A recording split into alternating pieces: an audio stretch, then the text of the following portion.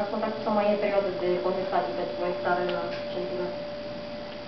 Păi, acum de astăzi începând avem 5 zile perioadă de contestații, dar nu cred că vor fi contestații pentru că uh, și aici evaluarea s-a făcut uh, profesionist și nu văd cine de ce ar putea să conteste. A fost uh, un, încă o firmă cu un preț mai mic decât uh, câștigătorul, dar uh, din uh, lămurile pe care le-am cerut, uh, au încercat să o scade cumva la numărul de ore aferente sau necesare executării acestui proiect, astfel încât să se încadreze. Au redus numărul de ore de la, nu știu, 17.000 la 1.700 la 900 de ore, în sfârșit. Uh, nu, nu cred că vor fi, nu cred că vor fi contestații, iar uh, eu cred că totuși a făcut un lucru bun guvernul în ultima perioadă, în ceea ce privește contestațiile, chiar nu poți să iei dreptul de a contesta nimănui, în schimb, uh, nu pe gratis, și am înțeles că trebuie depus o garanție pentru cei care contestă un proiect, o garanție care se reprezintă un procent din uh, valoarea sumei contestate. Uh, un alt proiect interesant în ceea ce mă privește și deosebit de necesar pentru Tloveșteni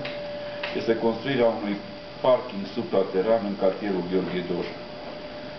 De ce am spus acest parking suprateran în, în cartierul Gheorghe Doja și nu în altă parte? Primul și primul rând, cartierul Gheorghe Doja s-a construit înainte de 1989, un proiect care avea la bază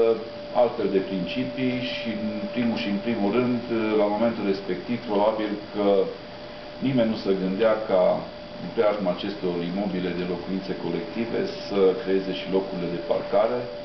și, să zic, spațiile necesare, spațiile vitale. Astăzi, în Gheorghe Doja,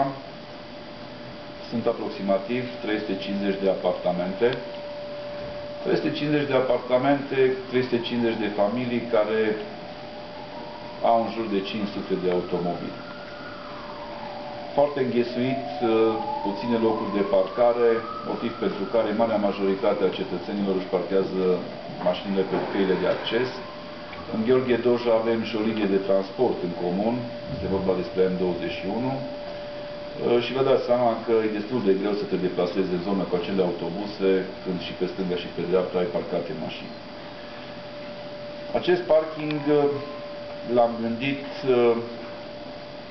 într-o incintă creată de patru blocuri, o incintă care astăzi arată